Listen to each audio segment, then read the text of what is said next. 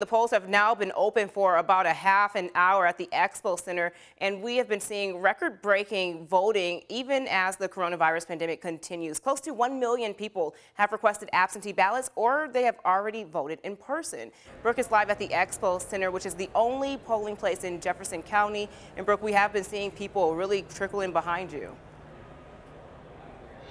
Yeah, before 6 o'clock when those doors opened, we had several people, several hundred people crammed into that lobby there, and they made their way in here pretty quickly. It doesn't look crowded because it's not. They are getting you in and out. The only line we're seeing are those people who might have requested an absentee ballot and did not get one in the mail. And that process is still pretty smooth, a little bit more time consuming, but you come here, they get you situated, and you can still vote in person. And if you're concerned about the coronavirus, a lot of social distancing going on, plenty of PPE on hand, taking a look. They had wiped down everything before anyone got in the building this morning. According to the governor's office, there are thousands of masks, about 5,000 for every county, 4,000 gallons of hand sanitizer, 5,800 face shields, and 20,000 gloves on hand for all 120 county polling places for both the voters and the volunteers if you want one. We aren't expecting to see complete results until at least June 30th. That is important for you to know. If you see any of those results tonight, that's because early voting and absentee ballots still need to be counted,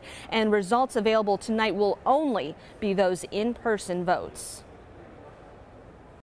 It will be a minority, a significant minority of the votes cast, of the total votes cast. So any result that's that is released on election day is unlikely to be a result that anyone can think is even remotely close to being final.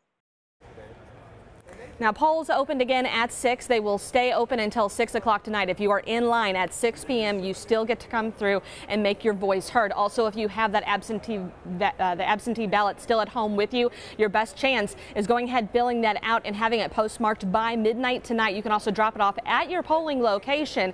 But again, in the mail, if you can, is going to be the easiest way. And if you need help getting here, there are a number of options for you. First off, there is free parking here at the Expo Center for those of you residents in Jefferson County. There will be shuttles throughout the parking lots, making sure you can get to the doors with easy access. And then TARC is also providing free shuttles to and from its downtown headquarters every 30 minutes, making sure every voice that wants to be heard can make their way here and get a vote. If you are coming by transportation for yourself, you want to come through gates two, four, or six. Those are the three gates that'll be open, and there are a number of signs showing you to this location. We are in the South Wing B. Uh, again, South Wing B at the Expo Center for those polling locations coming up, and it'll be through uh, tonight again at 6 o'clock. We'll, of course, bring you live coverage throughout the day, but remember those results you see tonight will not be the official ones, guys.